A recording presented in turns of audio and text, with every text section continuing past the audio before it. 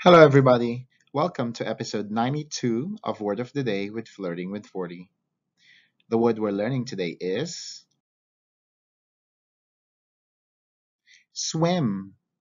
Swim. In English, swim. We swam in the pool yesterday. In Portuguese, nadar. Nadar. A gente nadou na piscina ontem. In Spanish, nadar. Nadar.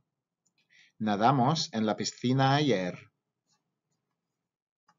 In German, schwimmen. Schwimmen. Gestern sind wir im Pool geschwommen. In French, nager. Nager.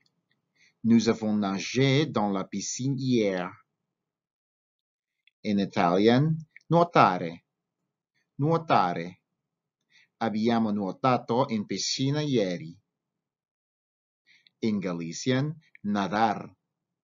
Nadar. Nadamos onte na piscina. In Catalan, banyar. Banyar. Ens vam banyar ahir a la piscina. In Tagalog, langoy. Langoy. Lumangoy kami sa pool kahapon and in Kapampangan, kawe. Kawe. Kinawe kami king pul napun. Thank you for learning this word with me today. I'll see you on the next episode.